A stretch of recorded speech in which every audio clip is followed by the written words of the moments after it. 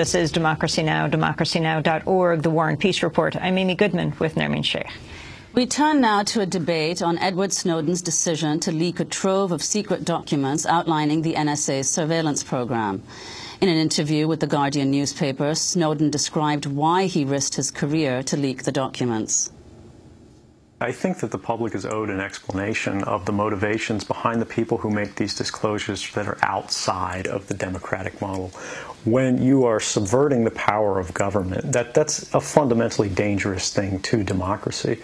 And if you do that in secret consistently, you know, as the government does uh, when it wants to benefit from a secret action that it took, uh, it'll kind of give its, its officials a mandate to go, hey, you know, tell the press about this thing and that thing, so the public is on our side.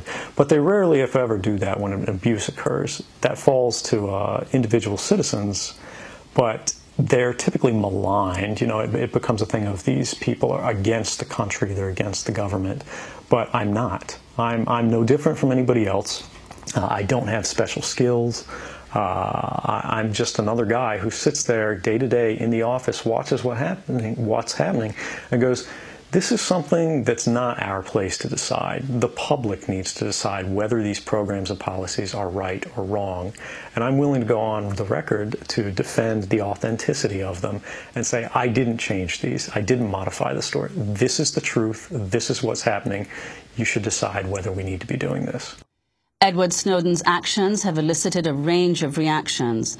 Jeffrey Toobin of CNN and The New Yorker writes that Snowden is, quote, a grandiose narcissist who deserves to be in prison. Democratic Senator Dianne Feinstein, chair of the Senate Intelligence Committee, said that Snowden should not be considered a whistleblower because, quote, what he did was an act of treason. And Republican Senator Lindsey Graham of South Carolina tweeted, I hope we follow Mr. Snowden to the ends of the earth to bring him to justice. Language echoing what Senator Graham once said in the hunt for Osama bin Laden. Meanwhile, Douglas Rushkoff wrote on CNN, quote, Snowden's a hero because he realized our very humanity was being compromised by the blind implementation of machines in the name of making us safe, unquote. The editor of the American Conservative, Scott McConnell, wrote, quote, if Obama wanted to do something smart, he should thank Snowden and offer him a job at, as a White House technology advisor. And Pentagon Papers whistleblower Daniel Ellsberg sang Snowden's praises, writing, quote, quote, in my estimation, there has not been in American history a more important leak than Edward Snowden's release of NSA material, and that definitely includes the Pentagon Papers 40 years ago. For more, we host a debate on Edward Snowden. Is he a hero or a criminal, whistleblower or traitor? Here in New York, we're joined by Chris Hedges, senior fellow at the Nation Institute, was a foreign correspondent for the New York Times for 15 years, was part of a team of reporters that was awarded the Pulitzer Prize in 2002 for the paper's coverage of global terrorism, author, along with with the cartoonist Joe Sacco of the New York Times bestseller Days of Destruction, Days of Revolt. His most recent article is called The Judicial Lynching of Bradley Manning at truthdig.org. And in Chicago, Illinois, we're joined by Geoffrey Stone, a professor at the University of Chicago Law School. His recent piece for the Huffington Post is called Edward Snowden, Hero or Traitor. Stone served as an informal advisor to President Obama in 2008. In 1992, 20 years ago, Professor Stone hired Obama to teach constitutional law at the University of Chicago. Geoffrey Stone is also author of many books, including Top Secret, When Our Government Keeps Us in the Dark and Perilous Times, Free Speech in Wartime, from the Sedition Act of 1798 to the War on Terrorism. Chris Hedges, Geoffrey Stone, we welcome you both to Democracy Now! Um, Professor Stone, I want to begin with you. Um, in your piece, you say that Edward Snowden's actions were criminal. Can you explain why you feel he should be in jail? Well, there is a federal statute that makes it a crime for public employees who have uh, been granted access to classified information uh, to reveal that information to persons who are unauthorized to receive it. So from a simple, straightforward, technical legal standpoint, um, there's absolutely no question that Snowden violated the law. Um, and from that standpoint, if he's tried, he will be convicted, and um, he is, in fact, from that perspective, a criminal. Whether one admires what he did is another question, but it doesn't have anything to do with whether or not what he did was unlawful.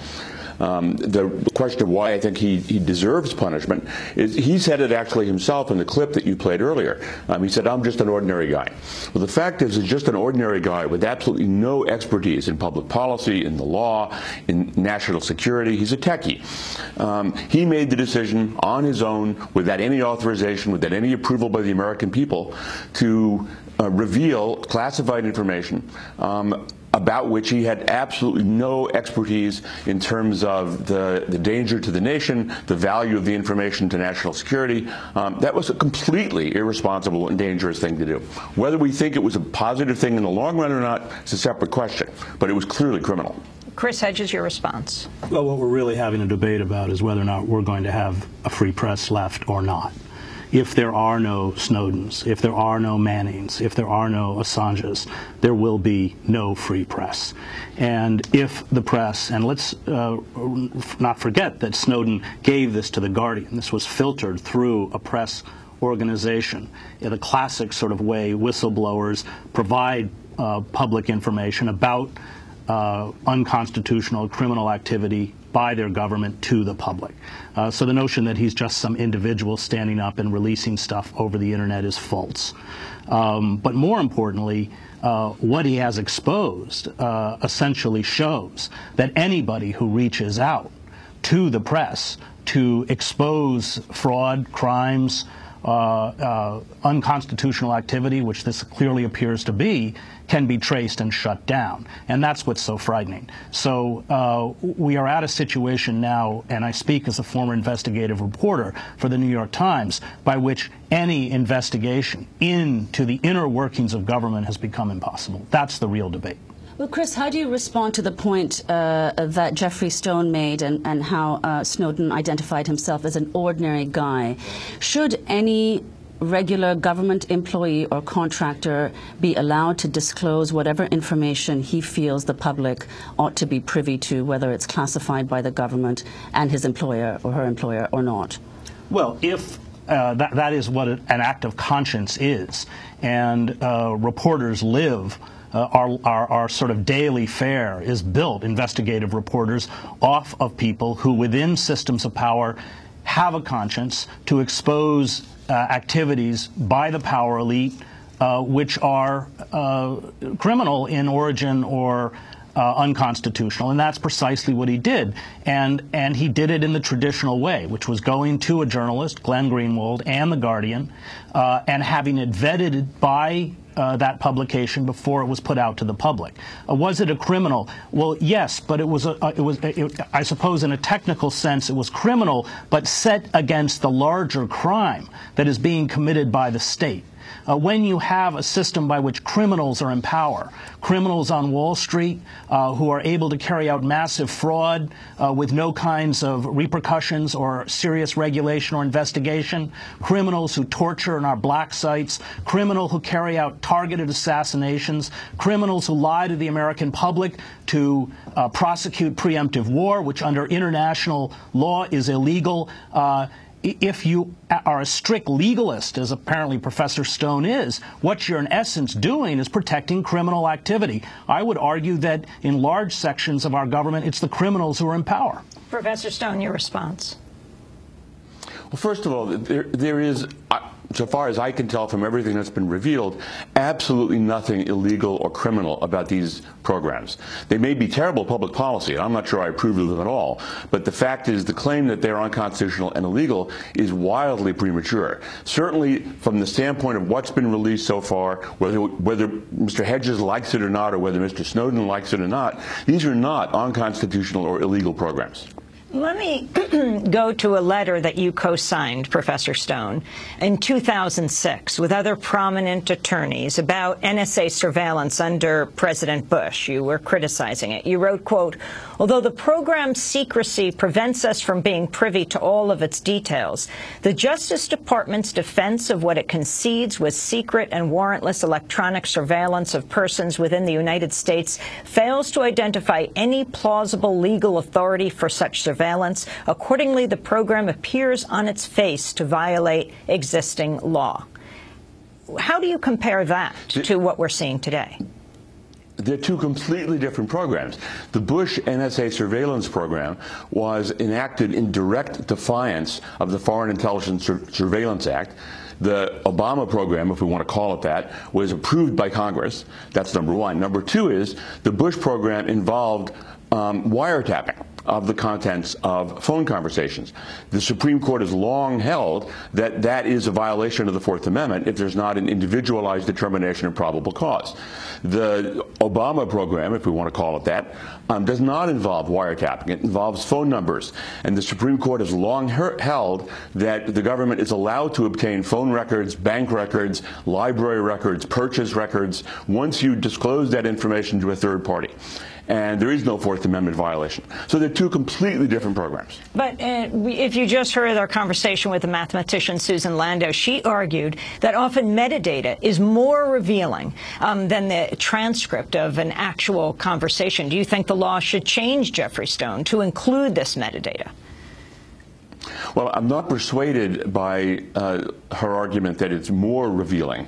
Um, I do believe that it's problematic, and I think, I think, in fact, there should be statutes that prohibit the gathering of this type of data by private entities as well as by the government in the absence of at least a compelling justification. Um, and I thought the Supreme Court's decisions initially on this question were wrong. So I would certainly want to see them differently. But in terms of what the law is, it's not unconstitutional, it's not illegal, and it's completely different from what the Bush administration was doing. Chris Hedges, do you agree that? Uh, well, there are plenty of lawyers who disagree with Professor Stone. Not many. Well, the ACLU has uh, just issued a lawsuit uh, over this, claiming that it's a violation of the Fourth Amendment. So. Uh, I haven't done a poll. Uh, frankly, the legal profession, under this uh, steady assault of civil liberties, can't hold its head very high. Um, there are a few out there at the unlike, ACLU, unlike Michael Ratner and a few others. But, um, you know, uh, Geoffrey Stone, aren't you on the board of the ACLU, or were you? I'm on the National Advisory Council. Yes. So what do you think of them uh, suing the government over this? I think it's great. I think that, that they, they are perfectly right to bring the question. That's their job. Their job is to challenge uh, whether or not things are constitutional, to raise those questions. That's exactly what they should be doing. Doesn't mean they're always right, but they should be presenting these questions to the courts. That's their job. That's their responsibility. Uh, Chris Hedges, one of the problems that people have pointed to is that there aren't procedures or mechanisms in place for people within the government to point out wrongdoing when it does occur. Do you think that's one of the problems that's occurred in this case with Edward Snowden, or for that matter, your most recent article was on Army whistleblower Private Bradley Manning? Well, we used to have a mechanism. It was called the press. Uh, and we used to be able to uh, tell our sources that they would be protected uh, and uh, that they would not be investigated uh, for providing information that exposed the inner workings of power. Unfortunately, the press, like most institutions in this country, and I would add the legal profession, has largely collapsed under this corporate coup d'etat that's taken place. Uh, and is no longer functioning. And I, I want to get back that, that what this is fundamentally a debate about is whether we are going to have, through the press, an independent institution within this country that can examine the inner workings of power or not. And um, it, it is now, I mean, many of us had suspected this widespread surveillance. But now that it's confirmed, uh, we're seeing, you know, why did Snowden come out publicly? Well, because I think he knew that they would find out anyway because they have all of Glenn Greenwald's uh, email, phone records, and everything else. Uh, and they can uh, very quickly find out who he was speaking to uh, and, uh, and, and whether Snowden had contact with him. Uh, and that, you know, I speak as a reporter, is terrifying uh, because it essentially shuts down any ability to counter the official propaganda and the official narrative and expose the crimes. And, and we have seen in the last few years tremendous crimes being committed by those in power. Uh, we have no ability now to investigate them. Professor Stone, let me ask you about whether the reporters from The Guardian The Washington Post should be prosecuted. Uh, CNN's Anderson Cooper uh, put this question to Republican Congressmember Peter King of New York last night. As far as reporters who help reveal these programs, do you believe something should happen to them? Do you believe they should be punished as well? Actually, if they if they willingly knew that this was uh, classified information, I think action should be taken, especially in, on something of this magnitude. I know that the whole issue of uh, leaks has been uh, uh gone into over the last month, but I think uh, something on this magnitude, there is an obligation, uh, both moral but also legal, I, I believe, against the reporter disclosing something which would so severely compromise national security. Professor Stone, your response to what Peter King is saying he's just wrong. Um, the Supreme Court in the Pentagon Papers case, for example, made very clear that Daniel Ellsberg could be prosecuted um, for, um, as a public official, stealing uh, information that the New York Times and the, and, the, and the, Washington Post could not be restrained from publishing that information. Uh, the court has essentially held that although the government can control classified information at its source by prohibiting employees from revealing it, once the information goes out, it cannot then punish the press for publishing it. It's a little bit odd as as a, as a system, but the idea is that on the one hand we have freedom of the press, which has to be preserved. On the other hand, the government has a legitimate interest in maintaining confidentiality at the source within the government itself. So no, clearly uh, Greenwald and, the, and, and, and, and, Reuters and, and so on, none, none, none of those can be, uh, the Guardian, none of those can be punished, consistent with the First Amendment. That's clear. Uh, Professor Stone, so do you believe that uh, Edward Snowden's position uh, is comparable to Daniel Ellsberg's position with the Pentagon Papers, and that The Guardian played a, a comparable role to the New York Times? So I think Snowden's position, based upon what I know now, is much worse. Um, Ellsberg revealed uh, historical information that had really no appreciable uh, threat to the national security. Uh, it was all old information about what the government had done in the past. Um, and uh, what Snowden has, has, revealed is information about ongoing programs which we're told uh, are extremely important to the national security, and we're told that the revelation of those programs um, makes them far less efficient. That's a very serious, potentially very serious harm to the nation. That was not the case in Ellsberg's situation. Professor Stone, so I think from that standpoint, what, Henry Kissinger yes. said Dan Ellsberg was the most dangerous man in America. So they certainly at that time we, they were telling us that what he was doing doing was threatening national security. He said that at the time, before they had an opportunity to really reflect on what was released. Years later, or even weeks later, that was no longer the case. Um, so I, I, think that those two situations are not remotely comparable in terms of the the, the harm that uh, Ellsberg did to the country, which I think was trivial relative to what Snowden has done, which arguably is far more uh, serious. Let me make another point about civil liberties here, by the way. It, it's extremely important to understand that if you want to protect civil liberties in this country, you not only have to protect civil liberties, you also have to protect against terrorism. Because what will destroy civil liberties in this country more effectively than anything else is another 9 11 attack. And if the government is not careful about that, and if we have more attacks like that, you can be sure that the kind of things the government's doing now are going to be regarded as small potatoes compared to what would, what, what would happen in the future. So it's very complicated asking what's the best way to protect civil liberties in the United States. I, I have a very, I just don't buy this argument that you know, this hurts national security. I covered Al Qaeda for the New York Times, and believe me, they know they're being monitored. Uh, the whole idea that somehow it comes as a great surprise to jihadist groups that their emails, websites, and phone calls are being uh, tracked is absurd.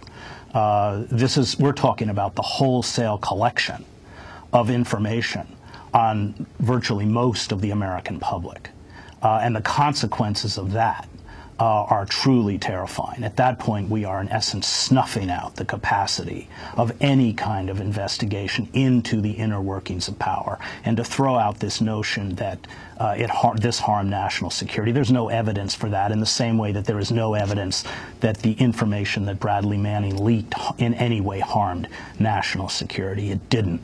Uh, what the security and surveillance state is doing is playing on fear uh, and, uh, and using that fear to accrue to themselves tremendous uh, forms of power uh, that in a civil society, in a democracy, they should never have. And that's the battle that's underway right now, and frankly, we're losing. I wanted to ask you, Professor Stone, to reflect on Martin Luther King's letter from Birmingham jail written April 16, 1963, when he said, one who breaks an unjust law that conscience tells him is unjust and who willingly accepts the penalty of imprisonment in order to arouse the conscience of the community over its injustice is in reality expressing the highest respect for law. Could you respond well, to that? Obviously, King. Sure, obviously King is right. The question is whether it's an unjust law. Um, so people who violate a law because they think it is unjust don't necessarily fit within the letter from the Birmingham jail. Um, King was talking about protesting racial segregation, um, and that's a little bit different in terms of the moral status of it. Now, maybe it's true. I mean, I, maybe Chris Hedges is right, and maybe that um, uh, that Snowden is a hero, and maybe this is all a fraud on the part of the government. This, this, this, this information serves no useful purpose, um, and it's fundamentally important to the United States that it's been revealed. Maybe that's true, and if it turns out to be true, then I'll be the first to say Snowden was a hero. Um, but at the moment, I have absolutely no reason to believe that. And to say that some people act on legitimate conscience and therefore violate unjust laws is not to say that everyone who violates a law is Martin Luther King in the Birmingham jail. I want to put that question to Chris, but I wanted to ask you, Geoffrey Stone, if um, you were Edward um, Snowden's attorney, what arguments would you put forward for him right now? Um, legally, I don't think he has, honestly, I don't think he has any legal arguments that would be a defense uh, to the charge that he um, violated the law about uh, government contractors um, not disclosing classified information to persons who are not authorized to receive it. I don't think he has a defense. Um, some people commit a crime and they committed the crime.